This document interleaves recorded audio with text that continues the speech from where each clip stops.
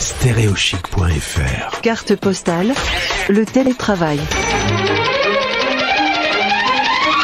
Le télétravail. Avec euh, la pandémie, on a découvert en France le télétravail et c'est vraiment le cas de Marion, 30 ans, qui bosse dans le service marketing d'une grande marque de vêtements pour enfants. Marion, bonjour. Bonjour Gauthier. Alors, euh, le télétravail n'était pas de rigueur dans l'entreprise jusqu'à mars euh, 2020.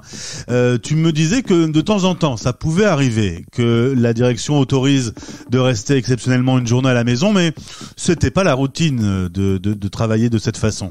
Oui, voilà, c'est ça. Il y a, ça commençait à rentrer de plus en plus dans les mœurs. On avait la possibilité de faire du télétravail quand on en avait besoin, mais c'était pas une habitude qu'on avait, non. Alors tu travailles avec euh, six personnes, une équipe, euh, un bureau, une machine à café, des ordinateurs, des réunions. Euh, avec l'arrivée en mars 2020 de la pandémie, tout le monde a été obligé de rester à la maison. Du coup, qu'est-ce qui s'est passé? Comment la direction a réagi? Est-ce qu'elle a réagi vite? Et est-ce que assez vite le télétravail a été intelligemment mis en place? Euh, honnêtement, oui, la direction a réagi très très rapidement. On a tout de suite eu beaucoup d'infos euh, par vidéo, par euh, euh, communi- communiqué nous expliquant les choses. On nous a donné des éléments aussi pour nous faciliter le télétravail avec des petites fiches conseils. Euh, pour aménager son espace de bureau chez soi, pour euh, répartir son temps de travail.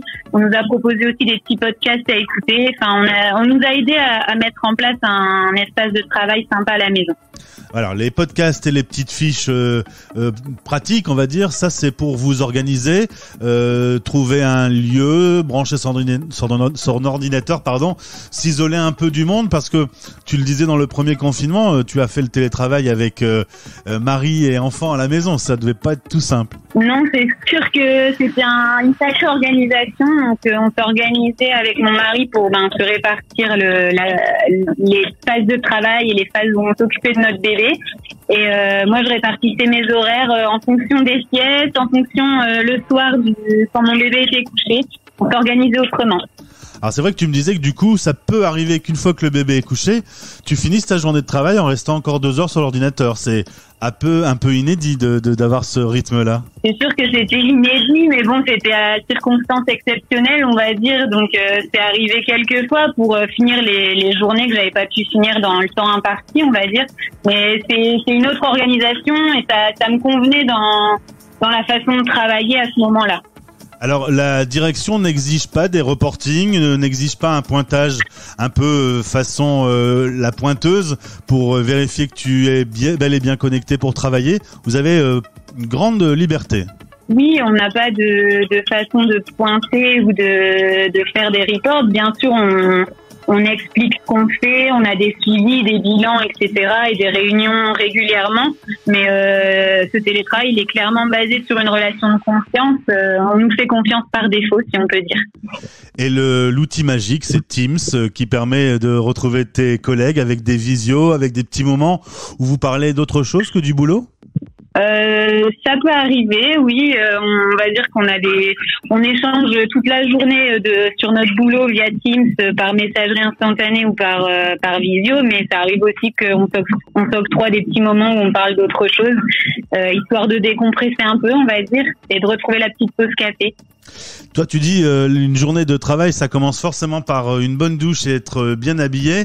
Euh, Il y en a d'autres qui ont un peu plus de mal et qui restent en mode décontracte. Toi, c'est vraiment un acte comme si tu allais au travail. Oui, moi c'est un truc que je peux pas envisager. Euh, Commencer ma journée en, en pyjama, c'est pas possible. Donc euh, je fais exactement la même routine le matin que celle que je fais avant d'aller travailler au bureau. Ok, je vais peut-être mettre une tenue un peu plus confortable, mais mais jamais j'opte pour le pyjama. C'est toujours habillé, petit déj, et je me mets dans des bonnes conditions pour travailler.